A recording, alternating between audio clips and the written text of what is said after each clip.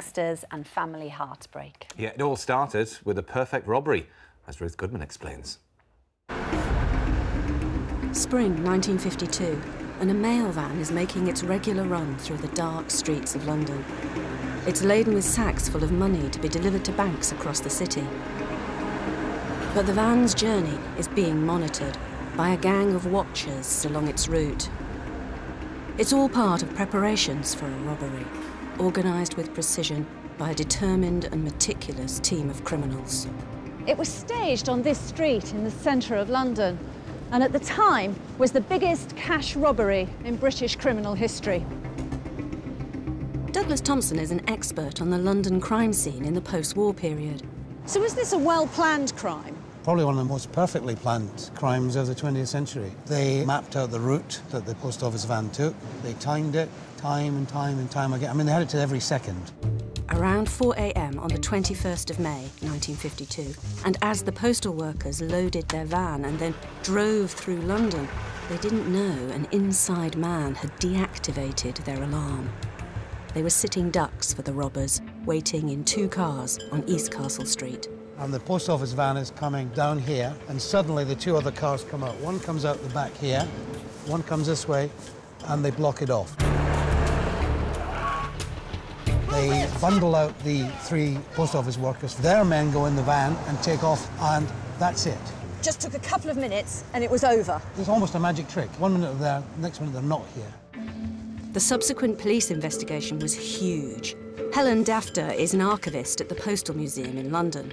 How much money was taken? 250,000, but that would equate to almost 6 million in today's money. So how did the investigation proceed? They thought it may have been an inside job. It is considered doubtful whether an operation so well planned could or would have been executed without up-to-date knowledge of the internal arrangements. Post office workers were cleared. In fact, none of the robbers were caught, even though the post office files show investigators were certain a gang leader called Billy Hill was responsible. There simply wasn't enough evidence to charge him. Billy Hill, I think everyone would agree, was the brains behind the whole operation. He ran London's underworld throughout the 50s. He was Mr. Big, so he planned robberies, and people knew when he did plan them that they worked. But Billy Hill didn't carry them out. His gang did that. One of the robbers was Terence Hogan, also known as Lucky Tel. His daughter Karen has written about her father's life of crime. So how was your father involved in the East Castle Street robbery? The planning mainly, because he had a precise OCD way of thinking, you know, everything was exact. They would drive up and down East Castle Street repeatedly. They sometimes were stopped by police, but my father in his Savile suit, dark glasses and fast cars said he was a film producer, producing a gangster film. This was one of the crimes that fueled a wealthy lifestyle. We had huge houses. We had uh, amazing holidays. There'd be plates of money lying on tables like cookies. As a young girl, Karen had no idea her father was a criminal until he made the decision to turn his back on crime. He was in prison for the first three years I was born. My mother would take me to visit him. She said it was a TB hospital. Later on, after going to Alcoholics Anonymous, he suddenly started to tell me who he was. I couldn't believe it. My father wasn't who he said he was.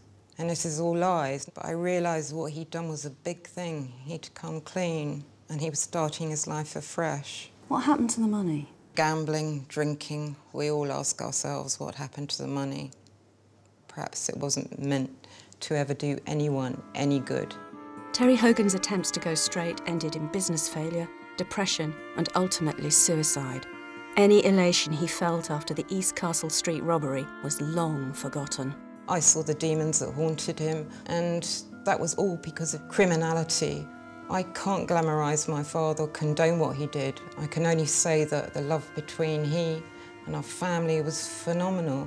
He was what he was, but I don't recommend it to anyone else that they get involved in crime because crime does catch up with you and you pay in the end. Oh.